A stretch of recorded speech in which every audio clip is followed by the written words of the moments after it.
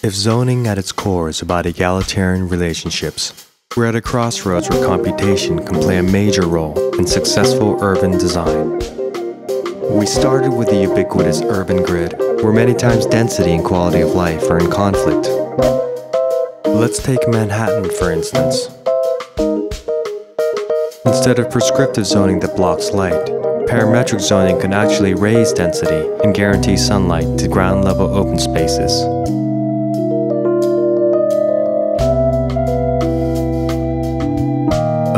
Variable sky exposure plane can coordinate building heights against a wide variety of existing and new conditions.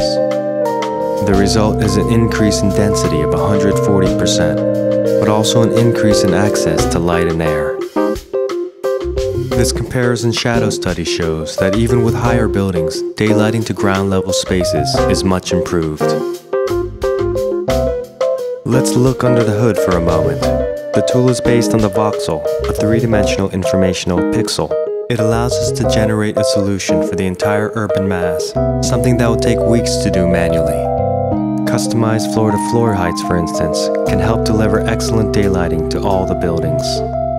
The power of the tool is that many social, environmental, and material factors can be analyzed simultaneously. So instead of diminishing the role of the designer, it actually empowers us. And since this tool is essentially three-dimensional, property lines and air rights can be designed for much more effectively.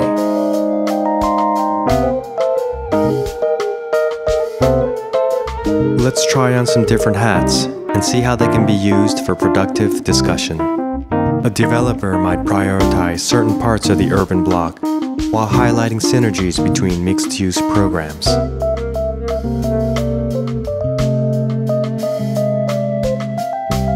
While an individual might want to test their access to light and air, as well as their access to public amenities.